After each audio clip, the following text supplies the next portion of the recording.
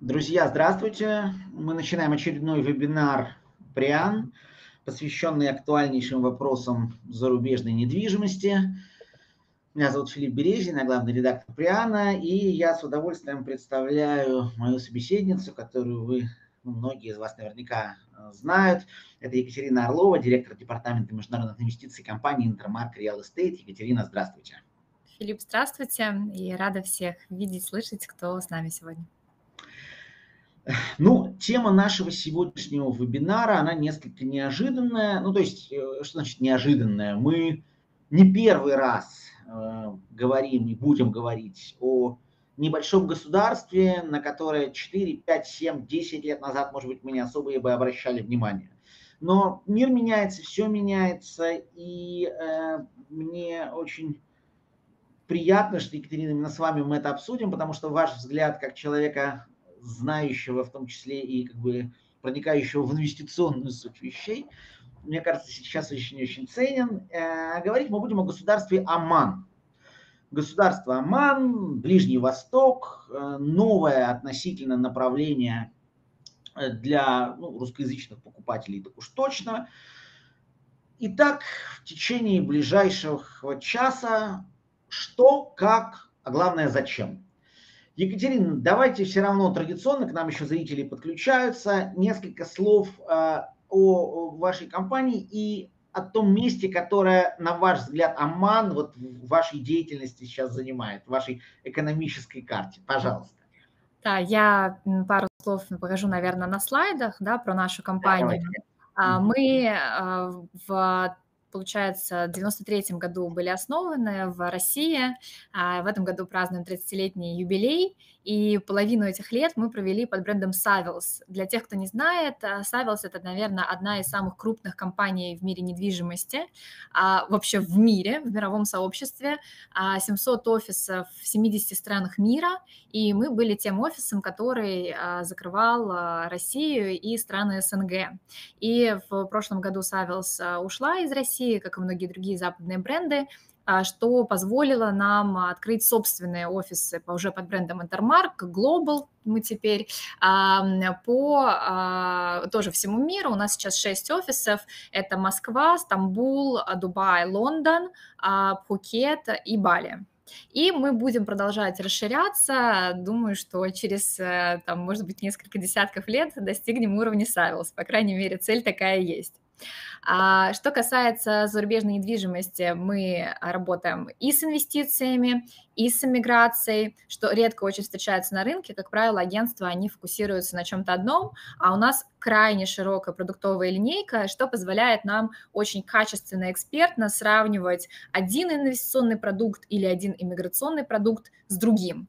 А в моем департаменте, как правило, все продукты, которые, все направления, а, где первая цель – это все-таки инвестиции, там, либо с сохранением капитала, либо а, с целью его прироста. И вот э, я работаю, соответственно, и мой департамент, у нас э, порядка 35 сейчас человек, с а, Европой, с Юго-Восточной Азией а, и с Ближним Востоком. Еще есть Бразилия, кстати, про которую тоже на Приан мы а, делали, по-моему, вебинар совместный. И, да. да, вот. И Оман – это то направление, которое мы первыми стали продвигать на а, российском рынке.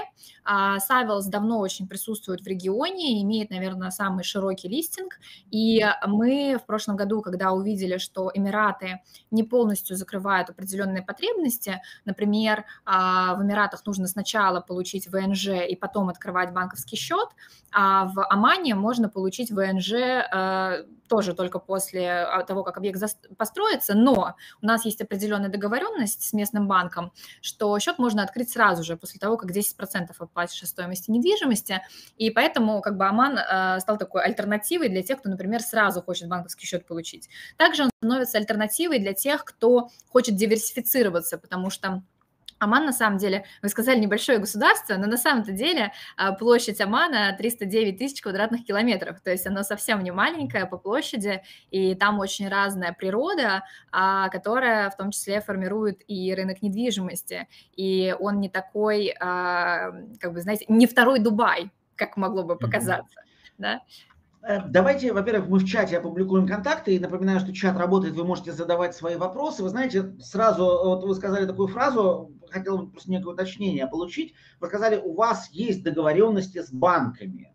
То есть, э, вот, ну, собственно, при всем уважении к вашей компании, есть государство, да, есть какие-то общие правила. Вот насчет отдельных договоренностей, это что и это как вообще работает? А, Все очень просто. А, банк э, Маскат, государственный крупный банк, у него больше 50% доля рынка а, среди банковской сферы. Если вы придете в банк с улицы, с определенным набором документов, да, то есть договором купли-продажи недвижимости а, и там а, документами по списку банка, то в обычном отделении вам не откроют счет, они будут настаивать, что нужно ВНЖ. А у нас есть определенные договоренности с private и премьер отделениями банка а, о том, что вот этих документов вышеобозначенных, их достаточно. И когда клиент приходит от нас, э, счет открывается. Означает ли это, что э, ВНЖ потом вообще оформлять не обязательно, или все равно все это делают, но просто как бы меняется порядок действий? Нужно оформить ВНЖ, если вы хотите мультивалютный счет. А счет открывают только в оманских реалах. Оманские реалы – это одна из, наверное, сильнейших валют э, в мире, и как все валюты стран Ближнего Востока, GCC, а привязана к доллару. Один оманский реал – это 2,6 доллара, и инфляция за последние 12 месяцев в оманском реале меньше 1%. При этом ставка по депозиту, которую дают в оманских реалах, она раза в три выше, чем ставка в долларах. Поэтому, в принципе, оманского реала более чем достаточно. Точно так же к нему привязывается виза MasterCard, ей можно везде расплачиваться, но ВНЖ банк потребует для того, чтобы потом открыть счета в долларах, в евро, в фунтах и так далее. Окей. Ну, давайте тогда все равно несколько слов э, о стране как таковой, просто потому что ну, название, потому что слышали и многие, но в деталях э, разбираются, уверен, единицы.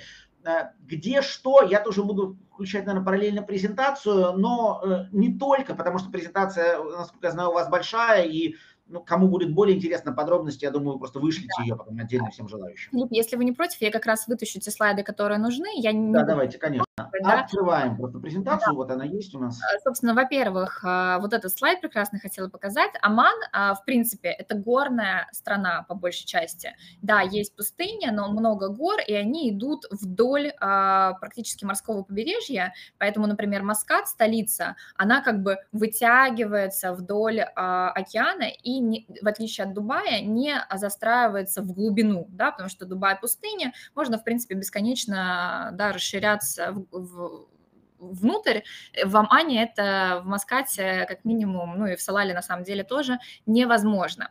Если говорить про историческую э, какую-то справку, то, э, во-первых, султан, э, э, Оман это султанат, и там правит султан. Это наследуемая позиция. А последние 50 лет правил один султан, султан Кабус, он очень а, уважаем и любим в сообществе, и он Аман по факту поднял с колен. В 70-х годах Эмираты от, откололись от Амана, да, э, э, разделились эм, страны, и Аман, он стал на путь э, именно формирования внутренней своей инфраструктуры, образование поднял, здравоохранение, инфраструктуру транспортную.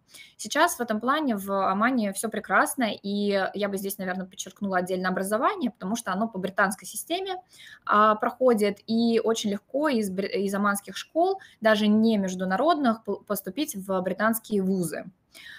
Собственно, далее, что интересно заметить. Новый султан как раз, он берет курс на диверсификацию экономики, и у него есть такой документ прекрасный, Vision 2040, собственно, 20 лет с того момента, как он начал править, а, который говорит о том, что туризм, а туризм один из основных драйверов а, роста в Омане, именно с точки зрения недвижимости, а, он должен вырасти, причем вырасти а, в несколько раз. А помимо этого, Оман должен стать более привлекательным для прямых инвестиций и снизить долю э, нефти и газа. И э, что еще тоже важно для нас, да, как э, для инвесторов с российским паспортом, это то, какие связи есть в Омане зарубежные. И если посмотреть на баланс импорта и экспорта, вот он, а, то вы увидите, что Штаты в нем присутствуют в очень небольшой доле в экспорте, и а, количество как бы оборота а, со Штатами, оно снижается. То есть в основном это Оман – это страна, которая ориентирована на восток. А именно поэтому рычаги давления в том, что касается различных запретов а, или ограничений, связанных с российскими инвестициями, а, исходя из этих цифр, он менее, э, как бы, менее вероятен, чем в других странах, где а, торговля, например, или, в принципе, другие связи со Штатами, они сильнее. И Оман, в общем-то, очень так э, живо, но в своем темпе, конечно, не Дубай, а начинает развиваться в плане туризма. И в плане туризма, вот такой слайд прекрасный покажу, а, в Омане есть все да, в Омане есть горы, есть водопады, есть прекрасный дайвинг, а помимо этого рыболовная, рыболовный туризм очень развит, э, я знаю просто абсолютно счастливых мужчин, которые выравнивают там, таких рыб метр плюс, и там, ну, как бы это очень, очень популярная история. Многие европейцы покупают там а, некую такую дачу, приезжают туда и зимой, и летом, а, и в том числе с целями рыбалки. И есть а, Салала, это прекрасный вообще оазис, такого нет в мире, там круглый год примерно одинаковая температура, нет никаких 50 а, градусов, которые, в принципе, на Ближнем Востоке, они распространены везде, и поэтому там в летом, когда везде жарко, там 30 градусов, дожди, все зеленое, и туда съезжается весь Ближний Восток.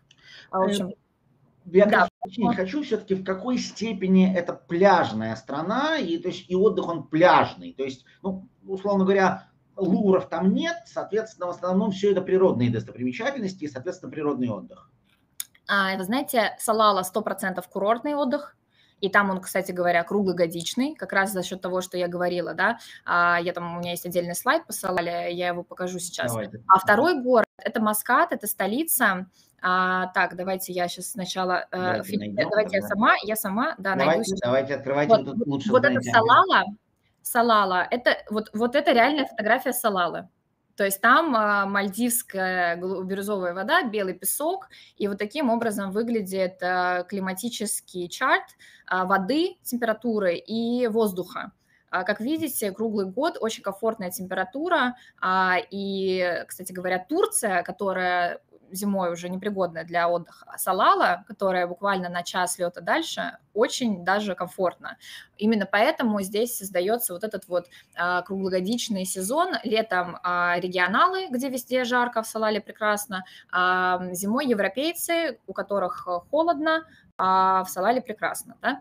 А, вторая, второй город и основной город – это Маскат, и там сочетание туризма, и сочетание культурного, культурных достопримечательностей. Там есть мечеть, э, да, там одна из самых крупных. И, кстати говоря, в Омане нельзя строить выше, чем минареты этой мечети, поэтому там нет небоскребов, как, например, в Дубае, в Абу-Даби, либо в Бахрейне. Там в основном низкоэтажные. Малоэтажка.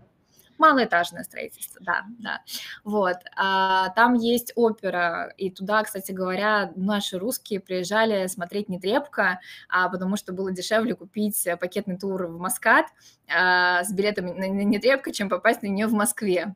Вот, поэтому культурная составляющая тоже присутствует, и что мы видим по статистике, благо а, Госдепартамент Омана публикует вообще абсолютно всю статистику по всем вообще индустриям и так далее, мы видим стремительный рост последние пару лет а, количество высококвалифицированных экспатов, а, которые страна привлекает. То есть она двигается чем-то похоже на Эмираты, но в более сдержанном темпе. Я бы, наверное, сказала так. Несколько уточняющих вопросов. А, насколько это светское государство и насколько религия там проникает в жизнь общества? А, ну, во-первых, Оман – это мусульманская страна, это нужно понимать, но там преобладающее а, вероисповедание – это ибадиты, это такая ветвь ислама, которая более наверное, умеренная в своих а, взглядах, выражениях, и именно поэтому европейцы себя чувствуют очень комфортно. А я, там наши брокеры а, были в Омане, ходили в нормальной обычной европейской одежде, чувствовали себя совершенно прекрасно. А я не видела особых ограничений даже в Рамадан. Там, ну, как бы предлагают еду днем, что как бы для мусульманского государства это редкое явление, скажем так. Вот, то есть комфортно. Окей, следующий вопрос. Транспорт. Как происходит перемещение по стране э, и вообще насколько это актуально для тех, кто туда приезжает? Это что, это там какие-то общественные транспорты или это сплошные такси или, в общем, там железные дороги и так далее? Ой, вы знаете, это все как у всех. Во-первых, в Омане прекрасный аэропорт. Там Аман Эйр – это местная авиалиния, а международный аэропорт Маскат, у меня тоже есть, кстати, слайд, сейчас я его покажу. А, он привлекает большое количество туристов, и вот эта статистика, а, на 67% больше прилетело в первом полугодии этого года, чем в прошлом году. А в прошлом году уже все было открыто, да, все ограничения были сняты, поэтому это такие впечатляющие на самом деле цифры, показывающие рост не только туризма, но а, и там переездов в Оман и так далее. И получается, там очень красивый аэропорт, э, можно сравнить с основным, наверное, дубайским по качеству. Вот, помимо этого там прекрасные дороги, такси есть, э, есть обычное государственное, достаточно дорогое, там водители только оманцы, и есть э, типа Uber, а, вот, потом а, есть обычный, там, взял машину в аренду, поехал, есть там трансферы, общественного транспорта, вы знаете, не задавалась этим вопросом, наверное, он какой-то есть, но такой ну, местный. Как часто бывает, страны Ближнего Востока это не самое актуальное. Да, да, это не самая актуальная история. Хорошо. Ну, еще буквально пару слов таких уточняющих. Ну, там уровень жизни условный, там, через запятую, там, Макдональдс, там, всякое такое вот э, уровень похожести э, и такой понимание, что да, вот мы знаем, что это такое, мы знаем эти марки, э, мы знаем вот эту светскую жизнь, мы ее понимаем. Насколько это прямо? А давайте так. В Омане есть, во-первых, все. Там есть даже, недавно открылся торговый центр с различными там брендами и так далее. А Макдональдс, естественно, есть, э, все это есть э, в нормальных количествах. Нормальная развитая страна.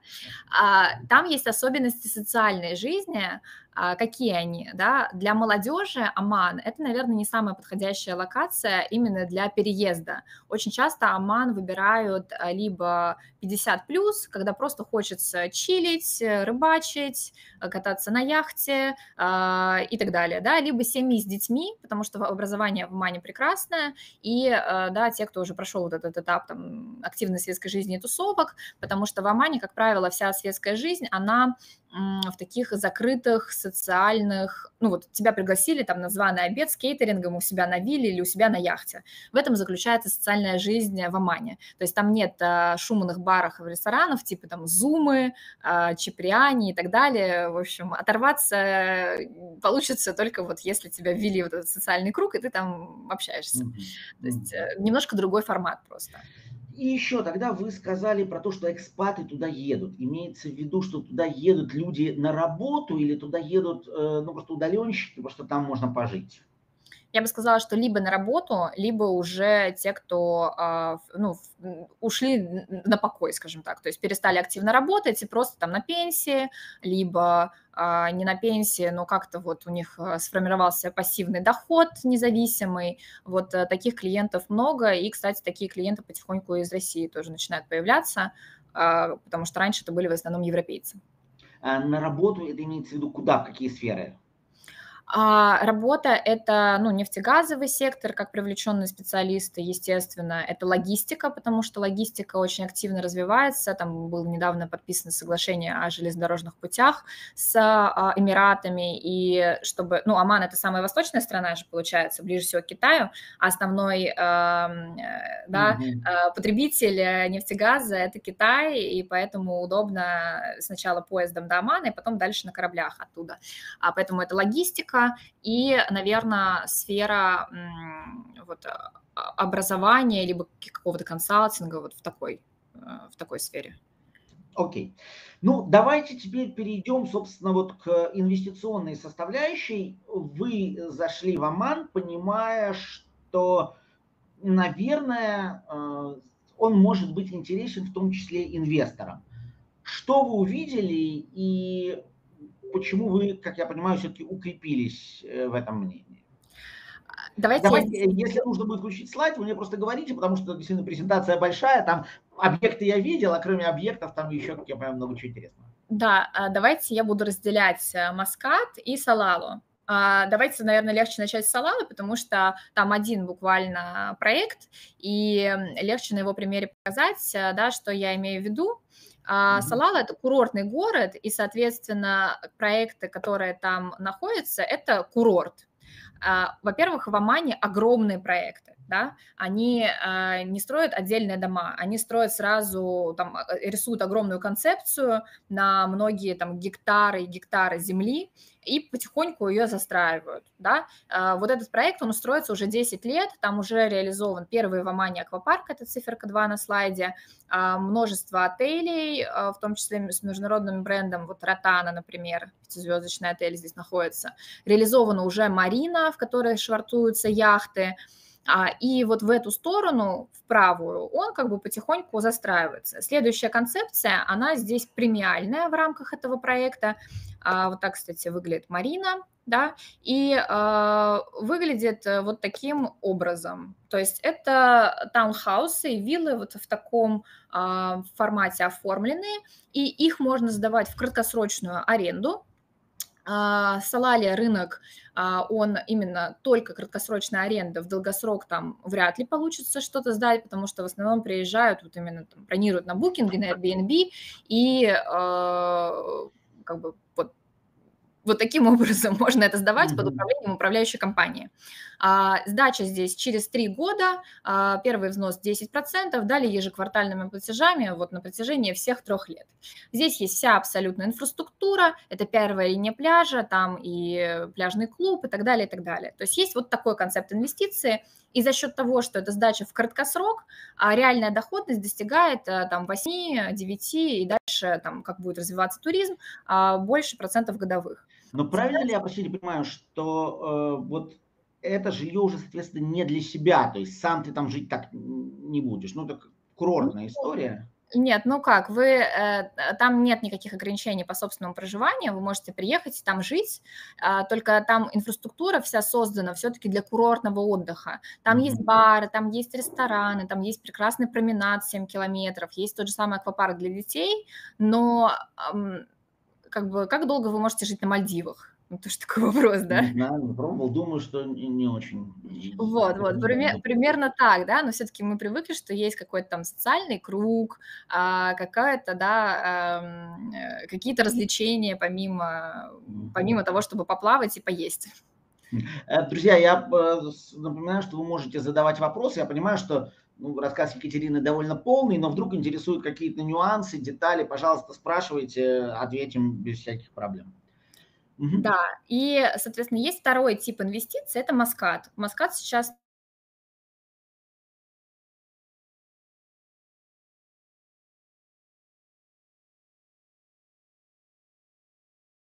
такими и именно в таких концепциях, в принципе, может приобретать иностранец, потому что как в Дубае есть места, где иностранец может купить во freehold, а так же, как и в Омане. А там эти комплексы называются интегрированный туристический комплекс, имеют определенную лицензию, а, и иностранцы могут купить только там. Что это дает иностранцу-инвестору? Во-первых, уверенность, что там есть, э, как правило, государственное участие, там практически все застройщики, они партнерятся с местными государственными компаниями, и что все там разрешения и так далее, все, все что нужно, оно, они получили через вот государство, подав на эту лицензию ITC. И в Маскате, соответственно, это будет концепт сдачи, как правило, либо в долгосрок а, кому-то как второй дом, либо жителям региона, либо вообще самим оманцам, либо европейцам. И здесь э, важно ориентироваться на то, где такой второй дом будет пользоваться спросом. Либо это тоже может быть сдача в краткосрочную аренду, как в Салале, если это какая-то более туристическая локация. Покажу несколько примеров. А, первый пример – это у нас, сейчас, секундочку, да, да по, по стартовой цене вот он здесь. Это прям огромный город, концепт города а, рядом с Маскатом. Здесь стартовая цена самая невысокая, это 140 тысяч долларов всего за апартамент 52 квадратных метра. Вот, и мы эксклюзивно в России делаем старт продаж резиденции под брендом Ники Бич.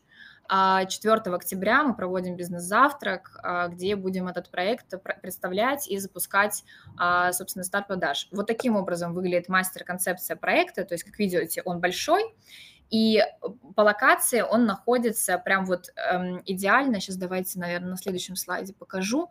Эм, это такая эм, рублевка э, Маската. То есть вот в эту сторону да, на восток, получается, по побережью, идут такие красивые бухточки, очень живописные, и в каждой бухточке какой-нибудь эм, элитный проект. Там рядом Шангрила, который уже лет 15, наверное, а там рядом другой проект э, с, вот, например, вот этот, да, здесь стартовая цена чуть повыше, он уже построен, готов, уже генерит доход, а здесь это комплекс, э, там отель Джумейра Резорт, сейчас самый дорогой в Маскате, 600 а, долларов за ночь стартовая ставка, и вот там еще есть апартаменты, которые можно сдавать как э, вот э, второй дом кому-то. Они... уточнение, вот здесь на слайде у вас вижу, до этого было там ну, проект, где 8-10% годовых, здесь всего 4, это как, да. что, почему? Потому что это как раз сдача в долгосрочную аренду. Там это был краткосрок, здесь это долгосрок. Чистыми получается 4. Ну, там иногда может быть чуть-чуть побольше.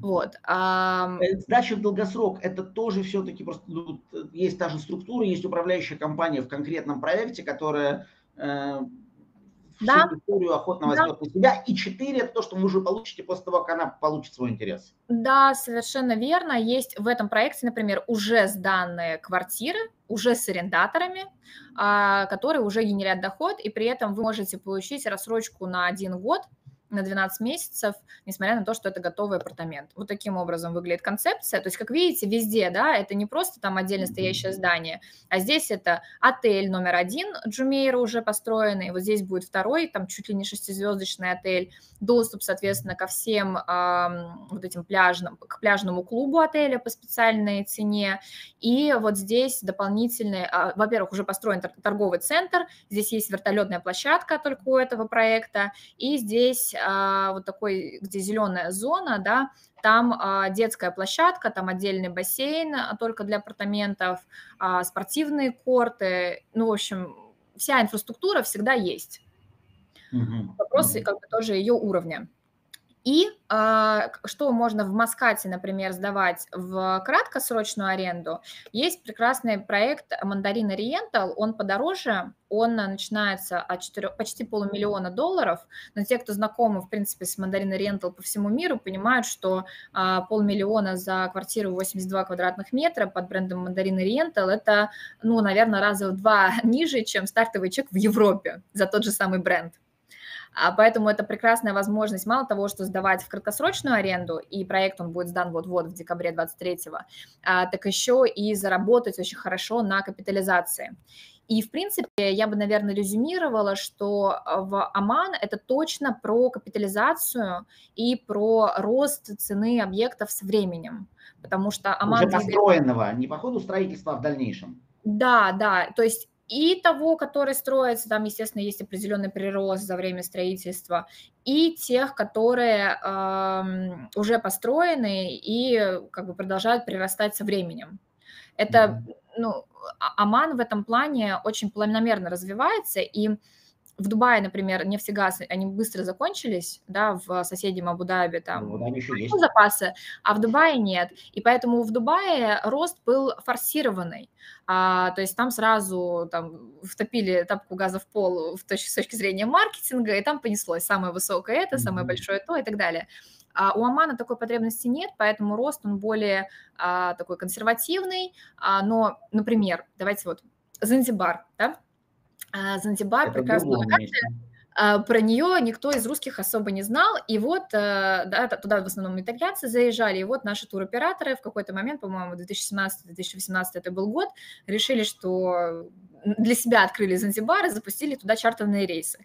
Мне кажется, все за это время э, успели слетать Занзибар, на Занзибар. Прекрасная локация. Мне кажется, я уверена, точнее, что рано или поздно а, наши туроператоры здесь, в России, точно так же откроют а, для себя Салалу, например, или откроют для себя Маскат, запустят туда пакетные предложения, и мы увидим существенный рост. И точно так же будут делать и европейские туроператоры, да, это вопрос просто времени.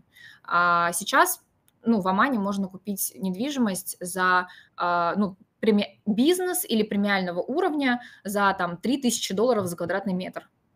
Это очень я, прав...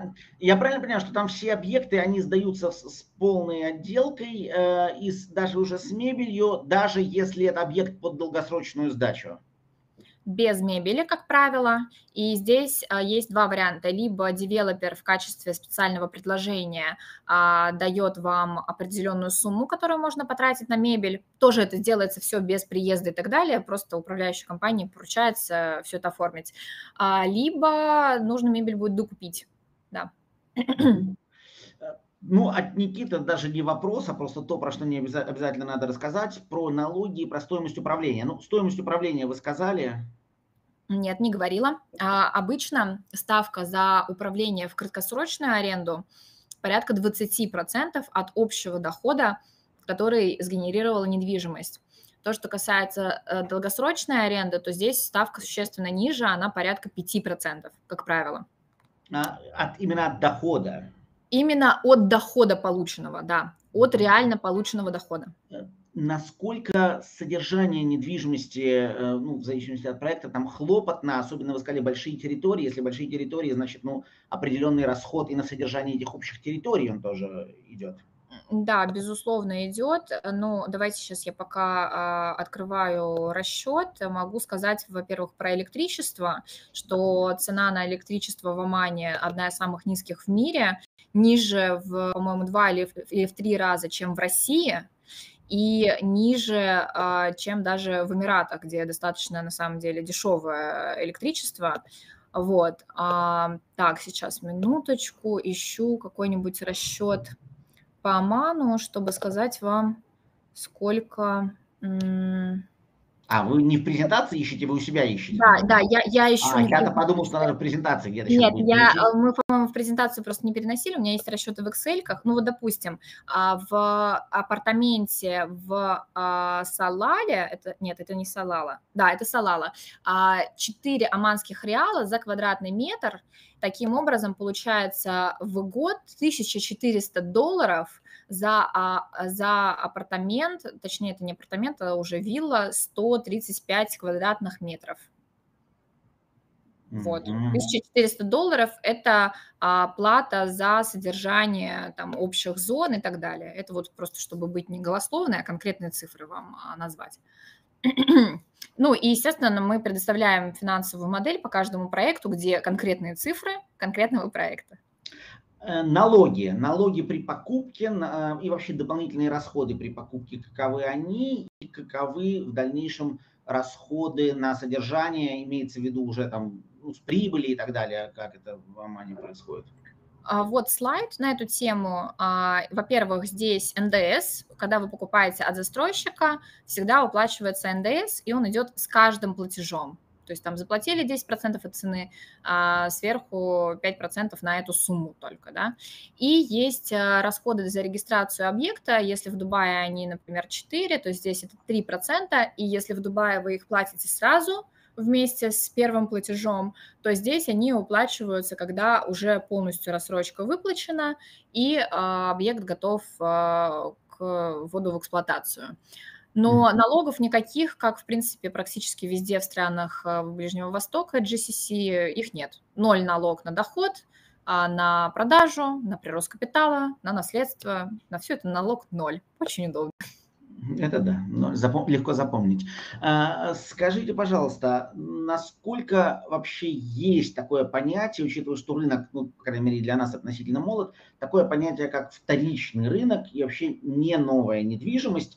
И вот все-таки еще раз, там просто сбой был по поводу того, где в Омане могут покупать иностранцы, где не могут. Давайте еще раз просто это повторим. Это такой... да, да, давайте, наверное, вот с пункта второго. Иностранцы могут покупать только в интегрированных туристических комплексах, индексах. Везде, а, то есть что в Маскате, что в Салале, да. вне зависимости. Да, но а, всего сейчас проектов, которые имеют этот статус, их раз, два, три, четыре, пять, короче, порядка шести или семи угу. всего. У нас они Недавно все... было, в начале года было еще меньше. в начале года было 4, три или четыре, да, да, что-то такое. Вот, то есть э, проектов, которые имеют этот статус, очень мало. Мы, поскольку давно с этим рынком работаем, э, всегда за ними следим. А, к нам время от времени даже приходят какие-то девелоперы, которые что-то хотят запускать. Мы не всех э, в свой листинг добавляем, да, по этим причинам. А, не у всех проекты хорошие на самом-то деле. Но у нас есть доступ к абсолютно всем проектам, которые вот имеют этот статус, э, и где вы можете купить недвижимость как иностранец. Продать ее на вторичном рынке достаточно легко, как а, местным, то есть мест, под местным рынком я имею в виду региональный, а, как, так и европейцам и другим иностранцам. А, очень хороший, наверное, признак – это, во-первых, темпы продажи на первичном рынке. Всегда есть клиенты, которые хотят какой-то определенный юнит, а он уже ушел, и достаточно большие по площади концепции, они распродаются за там, несколько месяцев. Например, проект, который с гольф-полем Трампа был, вот он, а, такая первая очередь распродалась за несколько месяцев. Поэтому рынок есть, спрос есть, продать можно либо с помощью нас, а, либо есть компании, как правило, у каждого девелопера есть еще такое агентство недвижимости, которое помогает с перепродажей. А, часто в договоре прям прописано, что они берут определенную комиссию, как правило, это там 3-4% за то, чтобы перепродать а, вас, ваш же юнит там, по своей базе.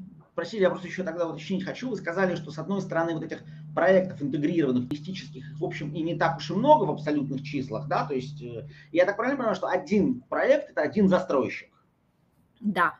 И при этом вы сказали, что ну, какое-то количество застройщиков еще непосредственно к вам приходят, желая, чтобы вы их продавали. Но я так понимаю, что иностранцы такие варианты в некоторых случаях вообще приобрести не могут. Я просто не очень понял вот это. Ну вот, а, смотрите, например, буквально на прошлой неделе, я не могу сказать, что это много застройщиков к нам приходит. Вот один застройщик пришел, я так понимаю, что они подаются на вот эту лицензию ITC, но у них проект э, у черта на куличках извиняюсь. Вот. Э, ну, очень относительно моря, относительно чего? Относительно Маската. То есть от Маската нужно, там есть другой проект, э, который э, эм, ну, делает очень хороший девелопер, но мы его не рекомендуем как первый проект для инвестиций в Маскате, просто потому что а, там вот эта вот рублевка условная заканчивается, и дальше нужно еще ехать через горы, там ходят какие-то барашки, вот, и ты приезжаешь к следующему проекту еще минут там через 30.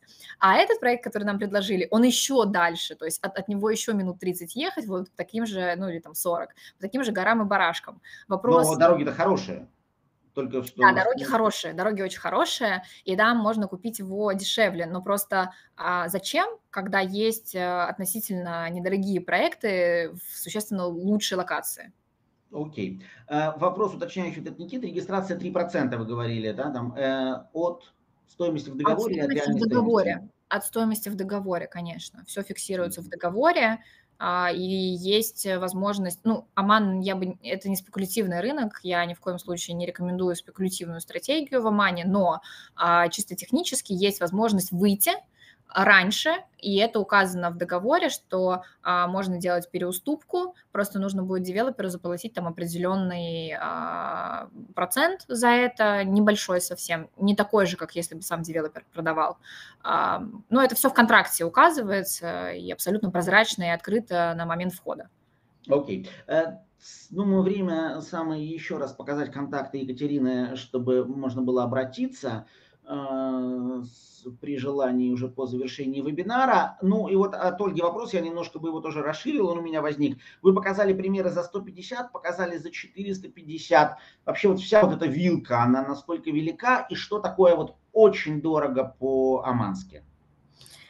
Очень дорого по-амански, прекрасный вопрос. Ну, давайте я вернусь к слайду, где за 140. 140 сейчас это а, базовая цена входа, в а, Маскате. Это как раз односпальная квартира, это даже, по-моему, даже студия, а, если не ошибаюсь, 52 квадрата. А, вот 140 тысяч, меньше вариантов нет. А дальше, в общем-то, я хочу сказать до бесконечности, но, наверное, не совсем до бесконечности. А элитно, ну, давайте покажу вот такую виллу. А, это первый а, проект, который имел статус ITC в Омане. Там же располагается, там, там тоже огромный проект, э, вытянутый по берегу, вот так он выглядит. Здесь гольф-поле, а здесь э, Сент-Реджис сейчас достраивается, там уже открыт Кемпинский, который вошел в топ-10 лучших отелей Ближнего Востока. И вот здесь есть э, то, что называется элитно. Mm-hmm. Есть вот такие виллы. Но такие виллы есть не только здесь, они есть э, практически во всех проектах в Маскате, просто потому что виллы, а особенно большие 5- и 6-спальные, а, пользуются большим спросом спросом именно в регионе, потому что большие семьи, а, им нужно там где-то разместиться, а, поэтому а, спрос на такой сегмент, он есть. Ну вот смотрите, вы показали, просто мы когда с вами там говорили, например, о Дубае, говорили о Таиланде с вами, вы называли цифры, там еще один нолик можно было приписывать для таких сверхдорогих проектов. Ну, понятно, наверняка и в Омане такие есть, там 15-20 миллионов. Вопрос в чем? Вот все равно вот эти объекты, вот эти виллы, которые дорогие, они же все равно находятся ну, на некой внутренней территории, ты же, то есть ты живешь рядом с людьми, которые, условно говоря, купили недвижимость попроще, так получается? Не совсем. Давайте вернемся к этому презентации. Здесь очень классно показано. Да, вот, вот эта вот вся часть, а какая-то просто не очень видно, вы скажите, левая, а, правая, там где цифры какие? Часть, часть номер три.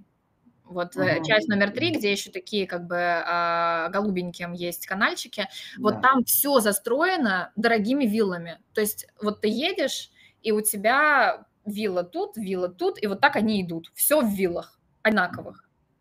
Э, для понимания просто масштаба, ну вот, от, вот, э, вот этот кусочек, который вы показали по карте, это сколько? Это километр, два, три, пять? Вот от, от в километрах я, наверное, не очень э, сейчас скажу, но вот от цифры 5, если ехать на машине до цифры 3, то это минут 10, если прям 10-15, э, если прям тащиться. Так, а, это ну, знаете, чтобы ну, давайте так, километра 2-3, то есть, условно говоря, ну, пешком дойти тоже реально. Условно. Нет, нет, пешком дойти тоже реально. Это, кстати, единственное, ну, первое место, где я в Маскате видела собак. Там европейцы гуляют прям с а, немецкими овчарками. Я видела немецкую овчарку в Маскате, была очень сильно удивлена. Вот. Или, например, давайте покажу по концепции другого проекта, вот этого, да. А здесь э, вот цифра 9, это внутри вот этого опоясывающего канала, а, он, кстати, с реальной морской водой, он ну, прокопан, получается, соединяющий. А вот здесь вот только а, элитные виллы а, внутри. А вот дальше, с другой стороны, идут апартаменты. Э, или вот, например, на горе, вот где цифра 11, это нижний правый э, угол слайда, там супер элитные виллы. То есть они вот такими как бы небольшими концептами Понятно. положены. Вопрос от Алексея. Работают ли в Омане мессенджеры? Что вообще там с интернет-провайдерами и с интернетом? А мы пропустили вопрос про курс валют и как себя ведет Про курс валют спросим чуть дальше, когда сейчас я спрошу, когда когда уже к валютам. А, хорошо, Филипп, доверяю вам, хорошо. А работают ли в Омане мессенджеры? Вообще все работает прекрасно. Единственное, что у меня Telegram работал почему-то не с местной симки, а только на Wi-Fi в отеле. Вот. Угу. Окей. Ну, и вот теперь, как вы сказали, давайте несколько слов про валюту, про оплаты, про э, как, что, куда. Э, нам в дирхамах, я вот не, российские банки, насколько я знаю, тоже счета открывают, а вот открывают ли в оманской валюте и вообще как это происходит все? Мне кажется, в оманской валюте у нас пока банки пока не, не открывают, но вы знаете, такое очень частое заблуждение, что если выставляется вам счет в оманских реалах, то вы его должны платить в оманских реалах. Ничего подобного. А банк-корреспондент э, прекрасно сконвертирует любую другую валюту, которую вы отправите. А, там ю, юань, доллары, евро. Банк-корреспондент. Вопрос, где найти теперь банка-корреспондента? Давайте об этом подробнее. Э, да, ну, э, получается, у каждого девелопера открыт счет там в локальном банке, он может вам выставить счет в любой валюте, в которой вы его попросите. У нас э, там кто-то переводит с евро счета, мы выставляем в евро, а, да, застройщик сам, он получит в оманских реалах, а просто оно по пути будет сконвертировано, вот и все. А, застревать. Ну, давайте, да. а как, если у тебя все деньги, допустим, э, в России? Э, ну, сейчас с этим... Без проблем из России ходят переводы мы, у нас большое количество сделок проходит в каждый момент времени. По всем направлениям. Поэтому у нас последняя информация о всех работающих банках. У нас прям есть отдельная рабочая группа, которая так и называется э, «Финансы и переводы», где все наши сотрудники обмениваются а, последними данными на эту тему. Поэтому перевести можно, мы помогаем а, правильно все сделать, предоставить все документы, предоставить информацию, главное, откуда это можно сделать сейчас.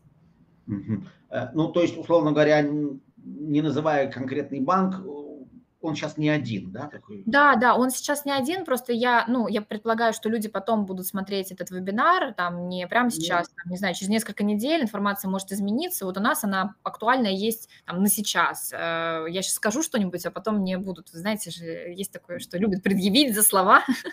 Ну да, да. Да.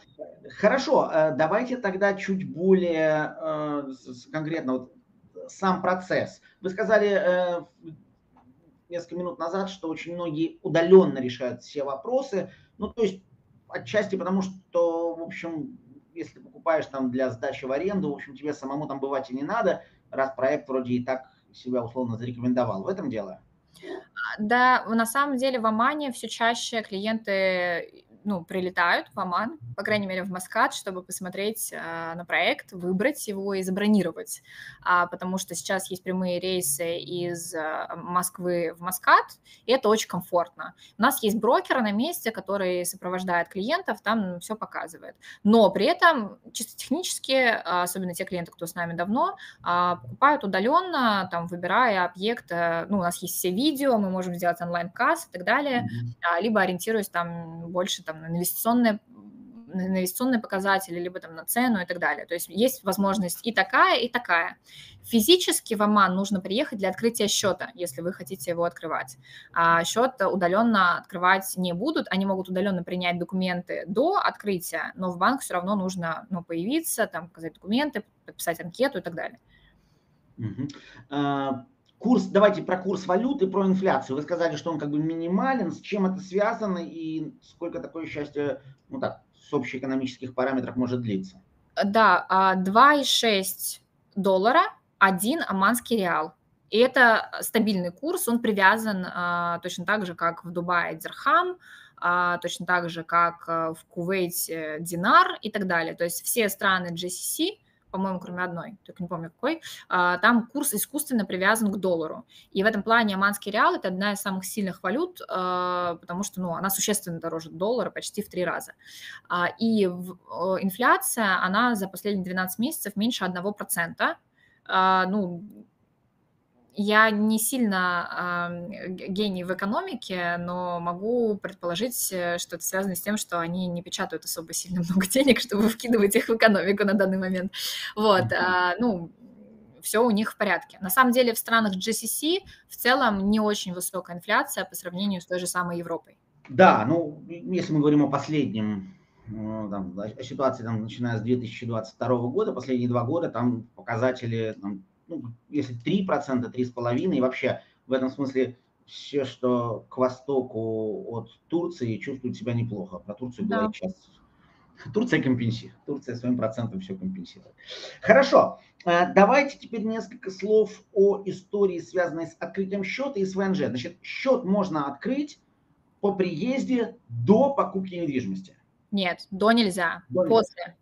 Но после, но не, до, не полная покупка может быть. Да, когда вы а, подписали контракт, там это SPA контракт, Sale and Purchase Agreement, и оплатили первый взнос.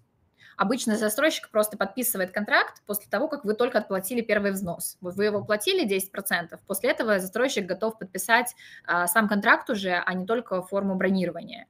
Вот, поэтому как-то э, утром деньги, вечером студия.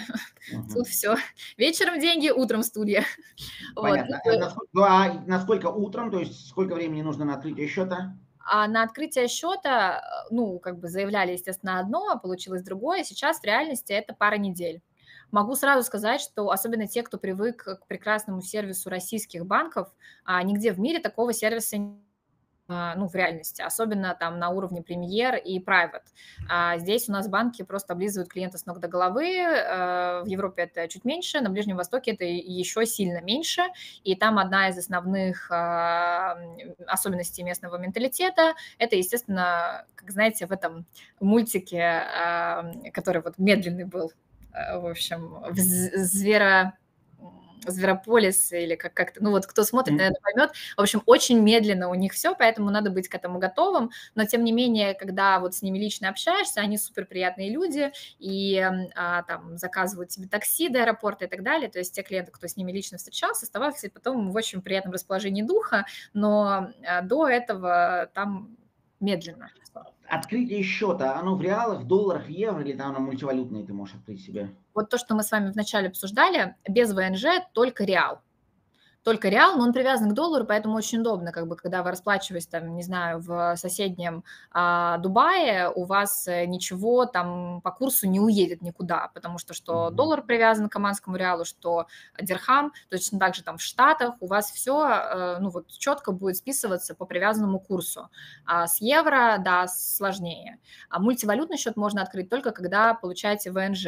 Давайте я слайды сейчас покажу, которые вот связаны... плавно перешли, я думаю, уже как раз к открытию открытию ВНЖ, да, вот давайте тогда про него, что, как и удаленно, не удаленно, как это все происходит, и что это вообще за ВНЖ? Это просто разрешение на пребывание в стране или это дает еще да. что-то? Да, это дает возможность, э, во-первых, подаваться из Омана на различные визы, шенгенскую, китайскую и так далее. Если кто-то сейчас ездит в Китай, мы вот ездили на выставку а, летом, и с визами было очень сложно. В итоге уехала там я и еще одна моя коллега из там четырех или пяти человек, которые должны были поехать. А там э, мои коллеги, э, ну, в принципе, по индустрии, которые находятся в Омане, говорили, что визу получили там за два дня. Очень mm-hmm. легко получать визы. Это первый момент и преимущество вообще любого ВНЖ, что можно из этой страны податься. А плюс это возможность открыть мультивалютный счет, ну и, конечно, возможность э, для тех, кто, может быть, рассматривает как раз а, такой... А, ну, не дачный, конечно, тип отдыха, а вот э, возможность самим э, какое-то время проводить в Омане, а, отдыхать, а то вот ВНЖ тоже им подойдет. По срокам после того, как вы, ваш объект ввелся в эксплуатацию, как правило, вам ВНЖ помогает оформлять застройщик, и здесь тоже от двух до шести месяцев. Зависит от того, насколько там расторопные люди, Рамадан, не Рамадан, а насколько долго идет проверка ваших документов, потому что они еще делают запросы в родную страну. Ну, в общем, это все не так быстро, как э, в итоге говорилось. Это вот сейчас реальные цифры, я вам говорю, на клиентах, которые прошли через этот процесс. Действует он два года, и как бы застройщик за вас его продлевает, пока вы владеете mm-hmm. недвижимостью. Всю семью можно включить без проблем каких-либо. Ну, семью вниз имеется в виду, то есть дети, несовершеннолетние дети, условно говоря. И родители. И родители можно. А, и родители можно. Да, и родители можно включить. Вот, и а, вот открытие счета в банке. Здесь на слайде вы видите документы, которые необходимы, и сроки там 14-21 день. А, это... Еще раз, вот в какой момент ты должен находиться в Омане? Когда ты подаешь заявление или когда ты получаешь там вот э, ну, счет и карточку? Когда, или... когда подаешь заявление, а потом тебе карточку могут отправить почтой. Либо ты можешь ее прилететь забрать. Смотря где вы находитесь. Если в Дубае соседнем, то как бы вообще без проблем. А, мы можем, например, попросить их, как мы делали для другого клиента, прислать в наш дубайский офис, а, и потом как бы вы его заберете. Либо, например, мы из дубайского офиса, у нас постоянно кто-то летает в Москву, можно вообще передать в Москву. Ну, в общем, есть варианты, как решить этот вопрос. Окей. Okay. Еще раз уточнить, значит, э, по срокам оформления более-менее понятно. Про то, кто имеет право получить ВНЖ. Э, любая сумма. То есть, условно говоря, ну, минимальный вариант это 150, причем объект может быть недостроен. Да, да. Э, так, сейчас про счет, да, можно а, подать, когда объект недостроен, на ВНЖ только когда объект построен и все оплачено. А, понятно, окей. То есть, да. условно говоря, если вам нужно, ну, как бы, если ВНЖ одна из целей, то лучше брать уже то, что, ну, или на высокой стадии готовности, или уже готово. Да. Вот да, но опять же важно то, что вы сказали, что только э, это вы должны быть первым владельцем, условно говоря. Это Нет, для, для Нет это, это, это в Турции нужно быть первым владельцем для гражданства, а, а в, да, в Омане Здесь нет никаких ограничений. Вторичка тоже, да, тоже да, вторичка, ну как бы все, что в ITC, оно все подходит и, и на любую сумму. То есть э, и, там вот 140 тысяч, за 140 тысяч покупаете, это тоже подходит для ВНЖ. Там, за миллион покупаете, тоже подходит для ВНЖ. Нет никаких ограничений. Э, Никита спрашивает, что вы говорили, что документы на открытие счета можно подать заранее удаленно. Да, совершенно верно. Можно Хорошо. подать заранее, но я говорила и до этого, можно пересмотреть записи, что все равно нужно будет приехать лично на анкету. Просто меньше времени вы в банке проведете. Но день в день вам все равно карточку ну, не выпустят. Они говорят, что это занимает до 7 дней, поэтому, например, если вы приехали в Оман, и еще у вас туристическая программа, а, то вы можете в первый день пойти в банк, а, как бы с подготовленными документами просто отметиться, что это вы, подписать анкету лично, показать паспорт и дальше поехать в туристическую программу и уже на вылете из Омана забрать карточку. Вот таким образом, в принципе, можно уложиться в одну поездку, чтобы потом с курьерами не а, на перекладных это карточки не получать. Окей. Okay. Екатерина, ну и давайте тогда, может быть, уже в завершении нашего рассказа об Омане несколько слов все-таки о месте Омана, о преимуществах Омана относительно, например, других государств Ближнего Востока и о ваших, ваших взглядах на вот Оман, да, я вот просто вижу, все-таки не первый день друг друга знаем, что вам Оман откровенно нравится, да, но при этом есть Дубай, есть Бахрейн, сейчас, э, ну, Саудовская Аравия в меньшей степени, они пока еще все-таки закрыты более, но тоже, кажется, начинают немножечко открываться. Вот ваш взгляд на преимущества и на то, как будет дальше, и потом еще ответим на вопросы. Вы знаете, самое большое преимущество и одновременно большой, э, самый большой риск, если его можно так назвать, в Омане, это а, сфера туризма и темп ее развития. Потому что в Омане есть абсолютно все задатки для того, чтобы туризм процветал. И на самом деле то темп, с которым это будет делаться, будет зависеть, во-первых, от усилий, собственно, правительства и департамента туризма, от его способности нанимать правильных маркетологов да, для пиара э, туризма в Омане. Но мы видим по статистике, что ну, статистика дает э, качественное улучшение. Да, 67% это трафик аэропорта в этом году полугодие по сравнению с прошлым полугодием. Это очень существенный темп прироста. Вот. И второе – это а, как будут туроператоры за рубежом реагировать, как бы насколько им будет интересно качать Оман как а, тоже туристическое направление, потому что от туроператоров это тоже зависит. И как бы все предпосылки в Омане для этого есть. И поэтому, на мой взгляд, это вопрос времени, и именно поэтому мне кажется, что Оман – это качественная, долгосрочная инвестиция в недвижимость. И в целом инвестиция в недвижимость, мне кажется, что как актив она все-таки больше долгосрочная. Можно играть в различные краткосрочные стратегии, спекуляцию и так далее, но это все всегда риски. А если ты заходишь как, э, как инвестор там, с э, упором на пассивный доход и на долгосрочный прирост, то Оман хорошо иметь в своем портфеле. Вот я, наверное, так скажу. Окей. Еще все-таки уточняющий вопрос про э, вот получение карты. Личное присутствие нужно в тот момент, когда ты что? Когда ты, Когда ты подписываешь анкету, а карту тебе потом могут прислать почтой. То есть для карты личного присутствия уже не нужно. Угу. То есть это, как бы, условно говоря, середина процесса. То есть подготовить да. документы можешь заранее, потом ты вот во время подачи ты там должен быть, а потом опять можешь не быть, и тогда тебе все пришлют. Да. Э, ну и тогда вот э, название афганских застройщиков вряд ли что-то скажет подавляющему большинству да, вы знаете, я не могу сказать, что качественным это с точки зрения качества строительства. Вот из Ну, того, разумеется, где да, я... надежность, то есть как бы Да, что может смущать. А я, во-первых, по надежности все застройщики очень крупные там, а, нужно иметь реально очень большие финансовые ресурсы для того, чтобы застраивать а, такие концепции большие, да, и, как я сказала ранее, большая часть застройщиков, они партнерятся с местной государственной э, фирмой, в которой есть, как правило, участие еще и правительственной семьи, то есть в этом плане надежность именно сохранности средств, она достаточно высокая. А, но с точки зрения качества я не могу сказать, что вот, вот этот точно строит лучше, этот точно строит хуже. Как правило, там просто качество ну, соответствует ценнику. Если это премиальный мандарин, то там и качество премиальное. Если вы покупаете а, односпальный апартамент там, за 150 тысяч долларов, то там будет ну, уровень, наверное, ну, нашего там бизнеса, наверное, так. Не, не премиум это будет. Mm-hmm. Вот Окей. Okay. Про криптовалюты что-нибудь скажете? А, официально застройщики в Омане не принимают криптовалюты, хотя есть а, способы оплаты с помощью криптовалют, а, и мы можем помочь обеспечить логистику средств вот, да, в порядке индивидуальной консультации. Окей. Ну и уточнение да, про качество строительства и отделки. Ну, вы, собственно, сказали, да? Э, да, да. Ну, как бы у нас есть, э, естественно, там и личное мнение, и видео шоурумов, э, если есть они у застройщика, либо если это готовая недвижимость, то видео готовой недвижимости. Поэтому вы можете, во-первых, и наши рекомендации послушать, и сделать собственные выводы на основе этих видео, либо личного визита. Окей. Ну что ж, дорогие друзья, Екатерина Орлова, директор департамента международных инвестиций Интермак Real Estate.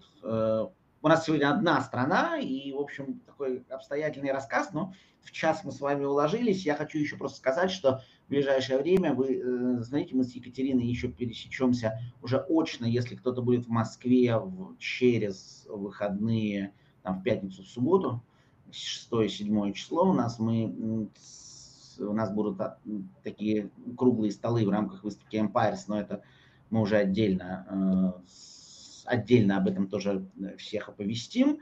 Э, можно будет видео, безусловно, это посмотреть, послушать э, еще раз. Мы его выложим в ближайшее время. Статья появится тоже ближе к концу недели. Но, Екатерина, тогда ваше, наверное, заключительное слово, и будем уже тогда прощаться. Да, я, во-первых, э, благодарю всех, кто подключился в прямом эфире и всех, кто будет потом смотреть в записи.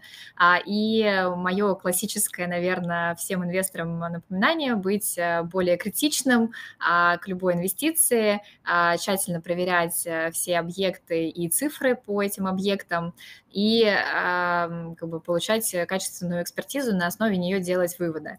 Недвижимость, на мой взгляд, это долгосрочная, в первую очередь, инвестиция, и Оман на карте мира – это точно точка, где есть все качественные предпосылки на уровне а, природы, на уровне государственной политики а, и на уровне там, последних а, статистик и темпов, как меняется Оман, для того, чтобы стать той страной и э, представить вам те проекты, которые как минимум заслуживают внимания э, да, на то, чтобы там один-два добавить в ваш портфель. Вот, всем хорошего дня, благодарю и всего доброго, до скорых встреч. Друзья, спасибо большое, всем до встречи. Э, презентацию, за презентацией, пожалуйста, обращайтесь э, Екатерине, вот контакты ее есть, я думаю, она не откажет. Ну и мое традиционное пожелание в эти э, такие разные, скажем так, не буду уж совсем какой-то пессимистичный времена. Всем мира и безопасности, это сейчас очень-очень важно. Спасибо вам огромное, до встречи. Екатерина, спасибо. Спасибо, да, спасибо, всего доброго, до свидания. До свидания.